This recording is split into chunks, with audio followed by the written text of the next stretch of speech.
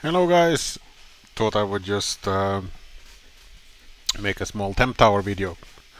Um, on Maker's World and many other places you can find a lot of temp towers like this. Uh, but usually if you're bringing them into Orca Slicer Studio, uh, the G-code gets stripped from them. Like in, in some cases here you can have for Bambu Studio, but not for Orca Slicer. So I thought I would just make a tiny video to show you how you do this and uh, this is an example of a tower and it does give an example how you can add this but I thought I would just show you in the video how to do this. So without further ado I have uh, let's see I need to find the correct slicer first. So here I have the tower and um, I have PLA and uh, basically what you do I'm just gonna show you what I did is uh, you go to preview and then you you slice the code. Um, so if you make a change like 2 here you slice it. I'm just gonna change it back afterwards. Like here. So originally you have nothing here on the on the sides in the slicer and that means there is no temperature. So if you go in and you uh, go down to temperature all you will see is just one color for everything.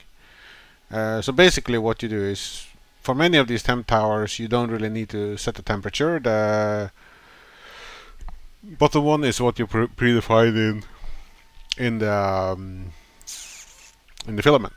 But you can do it. So on the zero you may have to scroll up one and then down then you right click and then you or if you go in here right click and it will say add custom G-code so you do that.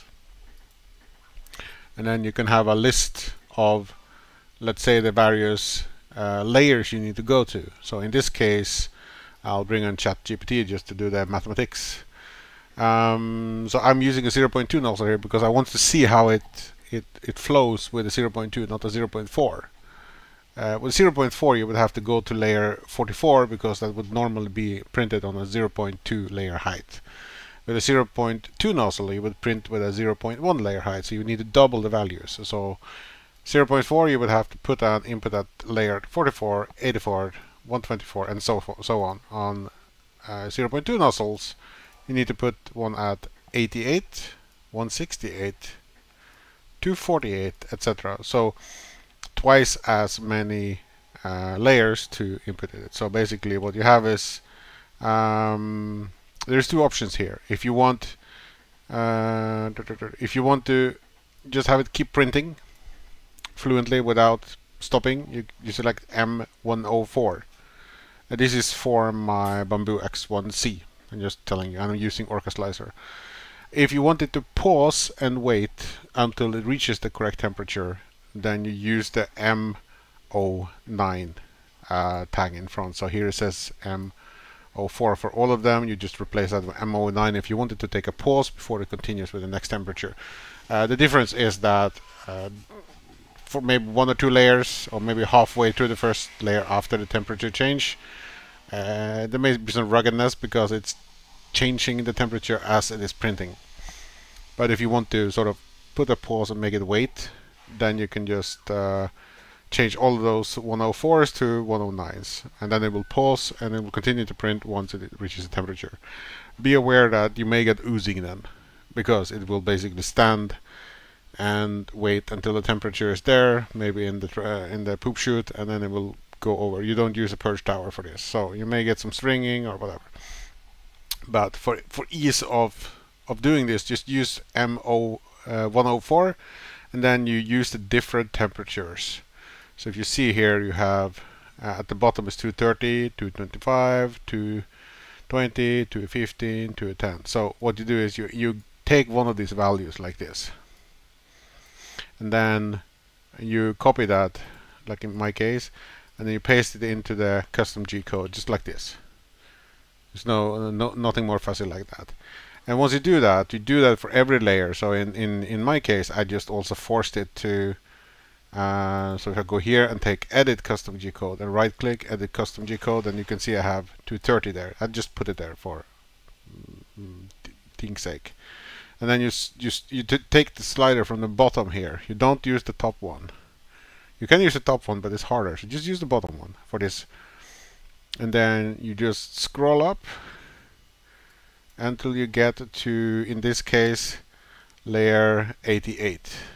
And in my case, it, it just uh, sort of removes the middle section.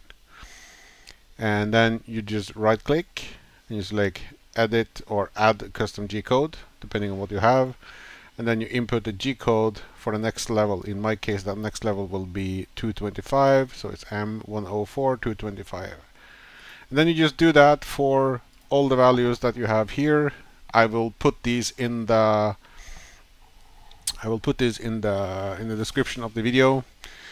Um, and yeah that's basically how you you make your temp towers. And uh, the thing with this is that now here I'm using PLA but if you want to make a, a different temperature you can do that. You can just take a similar temp tower and you just uh, take it into Fusion and you just wipe the towers or you just make your own slides or whatever and you just uh, input this to uh, create your personalized temp tower.